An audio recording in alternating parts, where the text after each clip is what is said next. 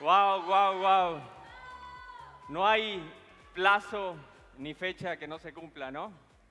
Parece que fue ayer esa celebración que tuvimos ahí en, en Cancún. Y bueno, antes de comenzar, y bueno, esta, esta palabra, este concepto también tan profundo, y creo que es la medicina del alma. Gracias, gracias, gracias, gratitud total para el equipo de, producción, que detrás de todo esto hay decenas y decenas de hombres y mujeres que están dando la milla extra y que de verdad que es a veces como el fútbol, ¿no? Sí, me encanta el fútbol. ¿Y dónde están mis amigos argentinos? Eh, felicidades, felicidades por esa copa. No es fácil, ¿no? Y de eso se trata a veces, ¿no? De que tú lo veas y pareciera que estos jugadores lo hacen, lo hacen sencillo, ¿no? Y detrás de, de todo esto, detrás de, de este tipo de actividades, Créanme que hay, hay esfuerzo, hay sudor, hay muchos retos, hay, hay, muchos detalles que no se alcanzan a ver y no se alcanzan a percibir, pero cuando por ahí te los llegan a comunicar es cuando tú dices, ¿no? O sea, realmente hay un equipo, ¿no? Quiero decirles que la vida no es fácil, la vida te golpea también. Pareciera que todas las personas que están acá, a veces ustedes ven todos los galardones, la premiación, todos los reconocimientos, pero muchas veces no vemos la batalla, ¿no?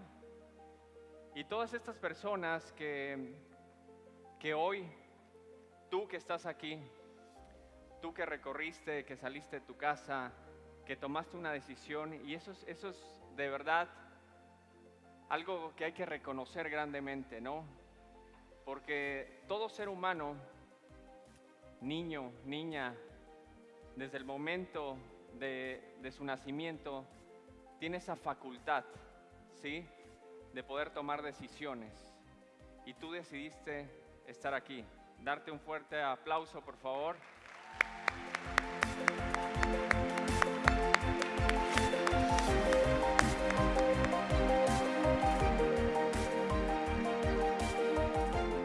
El año pasado estábamos ahí en Cancún, estábamos celebrando esta maravillosa fiesta porque convención viene de convencimiento. Para mí es la actividad cumbre donde a lo largo de los 12 meses tú le das con todo, metes la ficha, empiezas a, desarrollar estructuras. Hay personas que, que tienen cierta gasolina, cierta nafta y se van quedando, se van quedando en el camino. Ya lo hablaba aquí Hanna, por el tema de la dualidad que todos tenemos. Y yo veo ahora el tema del ego como mi aliado. Antes lo veía como mi enemigo. El ego te quiere proteger. ¿Sí? Y el ego muchas veces es aquel que te dice detente. ¿Y saben cómo, cómo yo lo, lo asocio ¿sí? en esta analogía? Yo lo veo como un, un perrito, ¿no? Ese perrito, ¿dónde te gustaría tener ese perrito? ¿A tu lado? ¿Sí? ¿O quieres que todo el tiempo te esté jalando? ¿O quieres estar cargando a veces ese perrito perezoso? ¿Cómo lo quieres ver tú? ¿Sí? Bueno, no tienes que luchar contra él.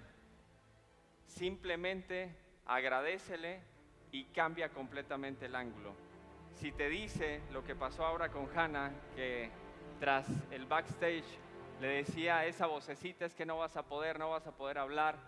Bueno, gracias por recordarme. ¿Por qué? Porque ayer di un zoom espectacular. O sea, cambias completamente qué? El ángulo. Y bueno, quiero decirles que ya se habló de legado. Un legado es más que una herencia. Un legado es algo que traspasa el ser, el carácter, el amor, el servicio, la contribución. Aquí hay decenas y decenas y decenas de sueños que fueron entregados a cada uno de los líderes que están aquí. Y nosotros en ese recipiente, tú los recibes, eres un receptor de decenas y decenas y decenas de sueños. Como siempre lo he dicho, ¿ustedes saben cuáles son los bienes raíces más caros del mundo? ¿No? ¿No saben? A ver, díganme, ¿dónde están? ¿En París? ¿En dónde están? El cementerio. ¿Por qué? Porque ahí están enterrados miles de sueños que jamás y nunca fueron capitalizados al mundo. ¿Cuántas notas musicales hay ahí? ¿Sí? ¿Cuántos talentos? Y esa es nuestra responsabilidad el día de hoy, comunicar una visión al mundo. En cada rincón del mundo hay una persona que respira, que también probablemente tenga esos sueños un poco opacos, ¿sí? Y nuestra responsabilidad es llevar ese mensaje, ese mensaje de esperanza. Tú, igual que cualquier persona, el día de hoy tienes el derecho de renacer. Todos los días solamente hay, hay un día y es hoy. Pero tú eres el responsable de poder reinventarte, de poder editar, de poder parar completamente esa película de tu vida. Si te gusta, si no te gusta. Es cuando vas al cine, no te agrada la película, ¿qué es lo que haces? Te sales. Y eso es lo que yo te invito a hacer también. ¿Sí? A que tú tengas esa facultad nuevamente de poder, poder tomar qué? Esas decisiones. En el año 2013, muchos ya conocen mi historia. Yo fui a la universidad porque seguí una fórmula de éxito que me inculcaron mis padres, que fue, Antonio Garduño, quieres ser alguien en la vida, quieres ser reconocido, ve a la universidad, prepárate y saca qué? Un título universitario.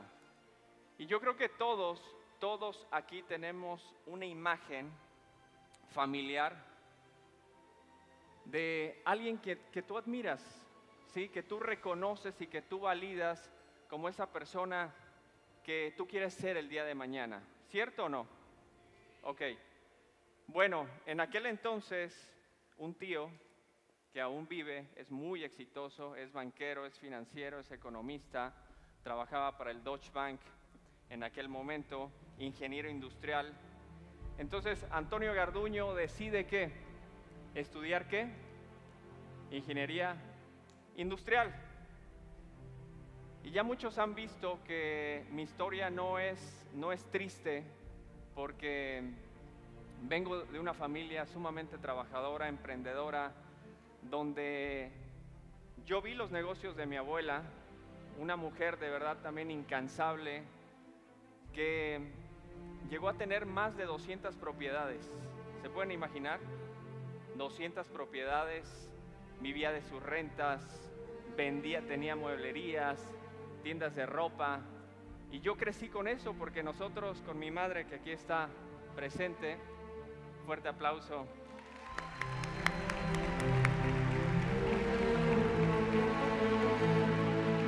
Nosotros viajábamos, ustedes saben que hay una comunidad muy pequeña aquí en toda Latinoamérica, que es la que tiene ese poder adquisitivo mayor. ¿Sí lo saben o no? ¿Saben qué comunidad es? Libaneses, turcos, ¿correcto? Entonces nosotros íbamos a la Ciudad de México y comprábamos de mayoreo ropa. Y ahí veían Antonio Garduño, 7, 8 años, ahí este, entre las bodegas, escondiéndose ahí este, con todo el tema de la ropa. Y yo empezaba a detectar ahí, ¿no? Estas personas cómo se movían, cómo te hablaban y demás. Y últimamente que he estado yendo a Turquía, y que las personas que son ganadoras ahora se van a dar cuenta que hay un bazar ahí en Estambul que tiene más de mil años. Creo que es de los más antiguos del mundo. Y todos te hablan hasta cinco idiomas, todos los turcos. Son expertos completamente, ¿no? En ventas. Entonces yo crecí prácticamente con esa fórmula de emprender. Nunca me visualicé yo trabajando a pesar de que trabajé para la política, gestionaba para cuatro municipios como asesor de una diputación local, me iba muy bien, tenía un ingreso aproximadamente de 2.500 a 3.000 dólares mensuales, soltero en aquel momento, obviamente me iba bien. Después terminé estudiando negocios internacionales. ¿Por qué razón? Porque yo me visualizaba teniendo un negocio a nivel mundial. Y miren, la, cosa que son las vidas, ¿no? O sea, impresionante, increíble, ¿no? Que no es un tema de presunción, pero ya haber conocido más de 110 países, básicamente, o sea, es una locura, ¿no? O sea, es algo que, que tú dices impresionante, ¿no? Lo que puede suceder cuando tomas una decisión, te determinas. Y de eso se trata, chicos. Se trata de que el día de hoy tú internalices, tú interiorices ese regalo que te fue conferido de lo más alto, ese fruto que tú tienes derecho. Tú que estás aquí, cierra los ojos, reflexiona un poco, ¿para qué estoy aquí? ¿Qué es, ¿Cuál es mi propósito de vida realmente? ¿Qué es lo que yo quiero alcanzar aquí? Ustedes van a escuchar aquí palabras, propósito, proceso, y todas las personas que, que han pasado aquí, que han desfilado y demás, miren que yo los conozco perfectamente a cada uno de ellos, porque tenemos una relación estrecha. Esto no es una venta donde yo le vendo a alguien y el día de mañana, chao.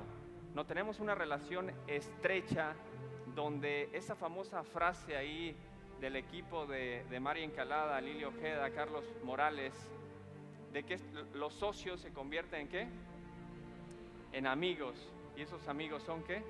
Familia. Quiero decirles que es así.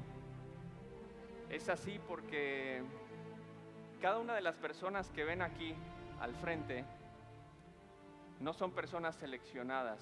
Cada uno de ellos tiene actividades diferentes completamente, pero tenemos los mismos ideales. Todos somos unos locos soñadores, ¿sí? Somos unas personas ahí.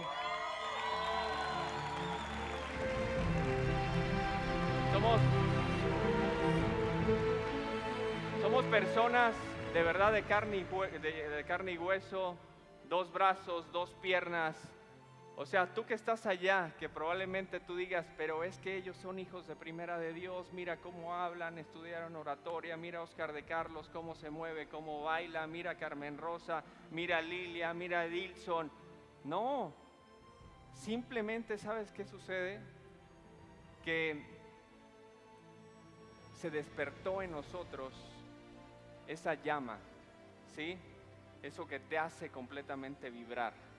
Y yo creo que en todo ser humano hay grandeza y potencial. ¿En todo ser humano hay qué? Perfecto. Dile a la persona que está a tu lado, yo merezco. Yo soy un soñador. Quiero decirte que a lo, largo de estos 10 años, cuando tomé esa decisión, el camino no fue fácil, no fue sencillo. Dentro de mi círculo, más de 50 personas me dijeron completamente que no. Y eso es uno de los, no errores, porque ahora lo traslado, ahora cambio el vocabulario y le llamo aprendizaje. En tu lista de contactos, no seas seleccionador, no cometas ese aprendizaje. ¿Por qué? porque eso te va a hacer el camino un poquito más, más complicado. Simplemente presenta la oportunidad a toda persona que respire y esté a, a medio metro de ti. Quiero decirte que esta oportunidad hoy, lo que es el concepto de network marketing, es ya una profesión. Hay muchas universidades en Estados Unidos, en Europa, que hoy tú puedes ir, hoy tú puedes desarrollar pero muchas de esas universidades no te hablan meramente desde la práctica, ¿sí? Aquí hay personas que están en medio de la gente, que están en medio del pueblo. Aquí hay personas que desarrollan, duplican organizaciones. Y para mí, la socialización de la libre empresa hoy en día es una magnífica oportunidad para qué? Para que tú puedas alcanzar cualquier sueño. Hay dos variables poderosas que siempre mencionamos. Ingreso residual, ¿sí? Y apalancamiento. ¿Ingreso qué? Y apalancamiento. ¿Te puedes imaginar hoy tener un equipo en más de 60 países? Creo que por ahí la conductora se, se equivocó ahí. No son 20 países, son más de 60 países. Donde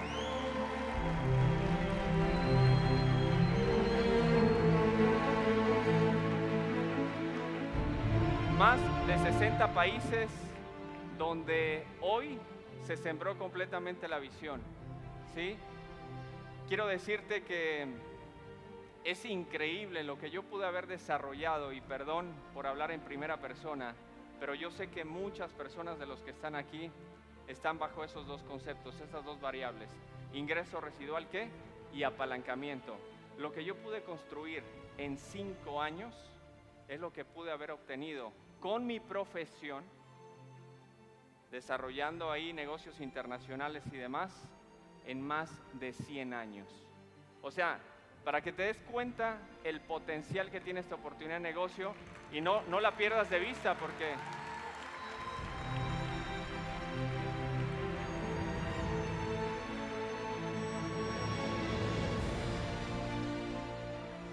hay dos factores importantes aquí para poder dejar un legado, ¿vale? Han escuchado bastante esta frase de que comparte visión. ¿Cuántas personas de aquí comparten una oportunidad de negocio? Hablan de un plan de compensación, te quieres ganar dinero, quieres obtener esto, quieres obtener premios, pero ¿cuántos de aquí realmente comparten visión? ¿Y sabes qué es eso? Es simplemente ver a la persona fijamente y probablemente esa persona se vea en un espejo y vea su realidad presente, ¿sí? Vea su realidad actual, pero no está viendo qué? Su verdadero potencial. Y precisamente eso es visión. No lo que es en ese momento la persona, sino lo que puede llegar a ser esa persona. ¿Correcto? Y es algo que yo te recomiendo, que tú empieces a compartir visión. Gracias a toda esta maravillosa comunidad. Gracias equipo Business Leadership Community. Créanme que todo lo que hace de verdad eh, nuestro equipo es, es increíble, es maravilloso. Cada persona, cada mujer, cada hombre siempre, siempre entrega la milla extra. Los veo, completamente que... ¿Dónde está el equipo de jóvenes BLC? ¿Dónde están esos jóvenes ahí? Quiero decirles que la estafeta, el bastón, lo hemos pasado correctamente. Yo recuerdo voy a decir aquí más o menos ahí un tip de mi edad, pero yo inicié básicamente a los 28 o 29 años, ¿sí? Probablemente también entraba dentro de ese margen, ¿no? De jóvenes, correcto, de BLC, ahí me incluí. Y quiero decirles que hoy la extensión de mujeres empresarias, que creo que está a la par completamente de nuestra comunidad, porque ¿Cuántas mujeres van a asistir a ese evento? Bueno, jóvenes, a pesar de que hace algunos años inició también, se detuvo por ahí por ciertas circunstancias y demás. El año pasado recibí una llamada en diciembre de un joven mexicano por aquí está. Mike Mena. Y me dijo, me dijo en esa llamada, Antonio, yo quiero de verdad hacer esto en serio. Quiero ser uno de los fundadores, una de las personas que comande esa comunidad, esa extensión, pero llevarla a otro nivel. En aquel momento creo que te estabas calificando a líder 2, más o menos. Entonces yo hablo con la línea de auspicio, con sus patrocinadores y demás. Ellos siempre lo edificaban, siempre lo validaban y me decían es que Mike tiene mucho potencial, es que Mike a pesar de lo joven que es, tiene una madurez impresionante, tiene una creatividad, es músico, es escritor, bueno, un montón de cualidades, ¿no? ¿Qué sucedió? Que en menos de un año, él es ahora líder 4 de la compañía. Fuerte abrazo. Pero ¿saben qué?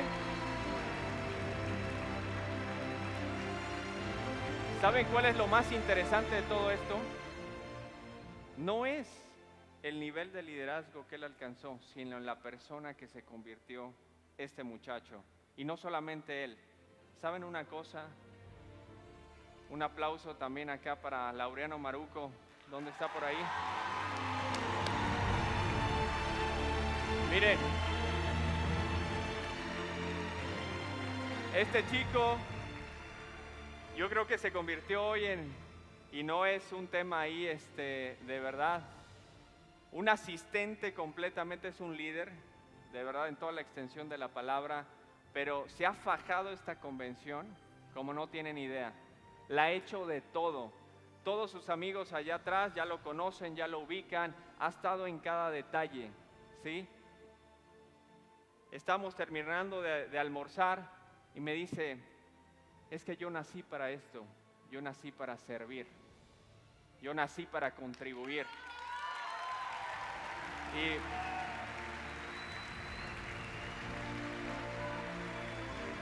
en menos de un año esta extensión de jóvenes BLC, hoy te puedo decir que el futuro de la comunidad está asegurado. El futuro de la comunidad está en buenas manos. El futuro de la comunidad hoy nos representa. Hoy son jóvenes de menos de 30 años que te puedo decir una cosa, en su actividad son mejores personas que cada uno de nosotros y lo están haciendo mucho más rápido. De verdad que le veo un futuro brillante a toda esta extensión.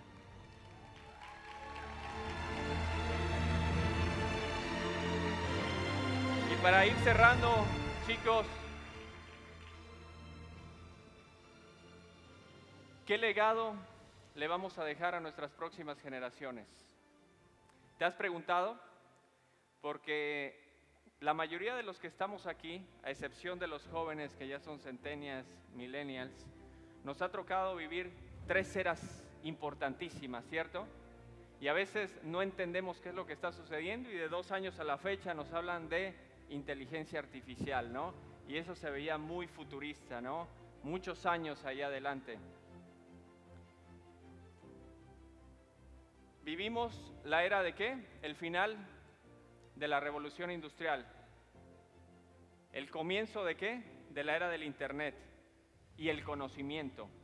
Esa es otra era. Y estamos viviendo qué? La era digital. Nuestra responsabilidad no es solamente que tú puedas transformar vidas allá afuera, sino que tus hijos puedan capturar también la visión.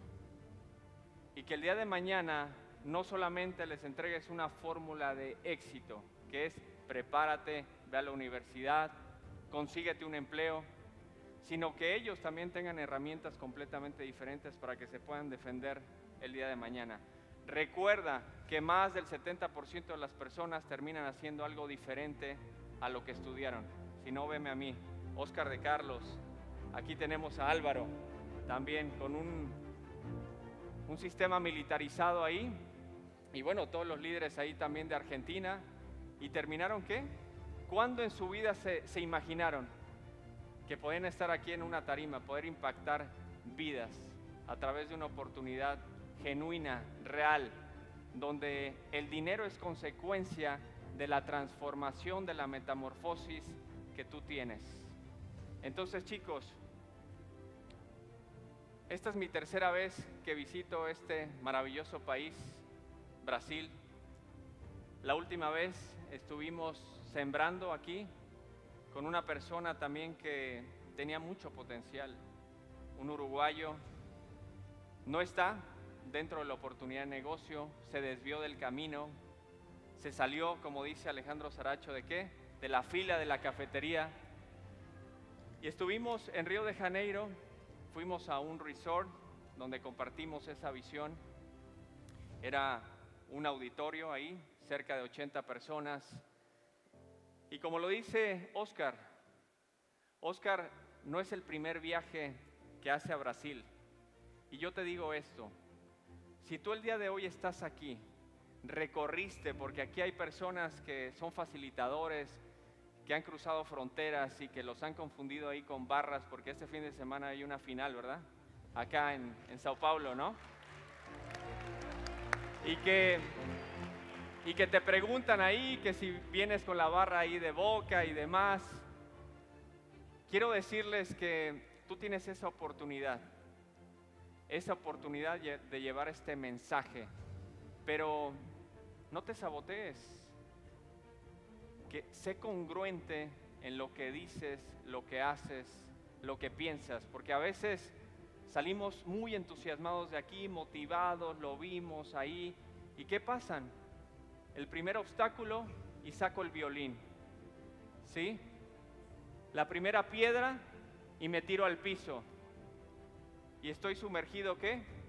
En la queja. Esta comunidad está diseñada para transformar la vida de las personas. Esta comunidad, aquí hay personas que han ganado más de 100 mil euros, 200 mil euros. Tuvimos un, un top master aquí con los líderes de Holanda. ¿Y cómo es posible que una persona en menos de un año haya ganado qué? ¿Dos millones de euros? ¿Un millón de euros? un poquito menos, 500 mil euros. ¿Sabes lo que implica una persona ganarse medio millón de euros o de dólares, como le quieras llamar, a lo largo de su vida? O sea, ¿cómo es posible que una persona en menos de un año haya alcanzado esa suma? ¿Por qué razón? Simplemente porque tomó una decisión, porque abrazó esa visión y hoy muchas vidas también se están beneficiando.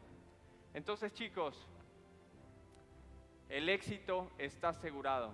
Esta comunidad, créanme que está hecha para grandes cosas. Esta comunidad no es simplemente el dinero. Yo, gracias a Dios, hoy puedo cerrar el computador y desaparecerme completamente de la faz de la tierra.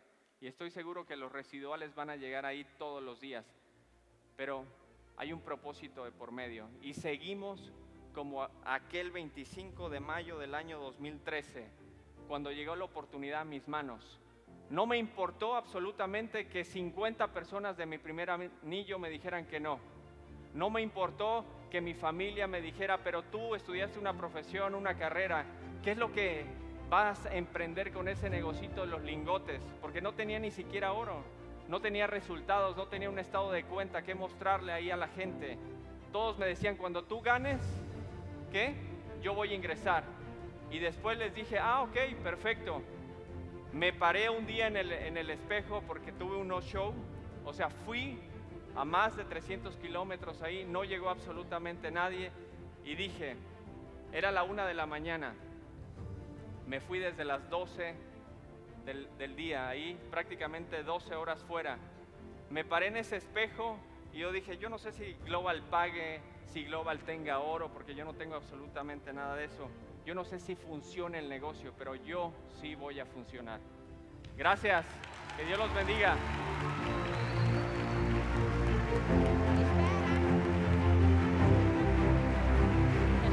Gracias, amiga. Muchas gracias. Gracias.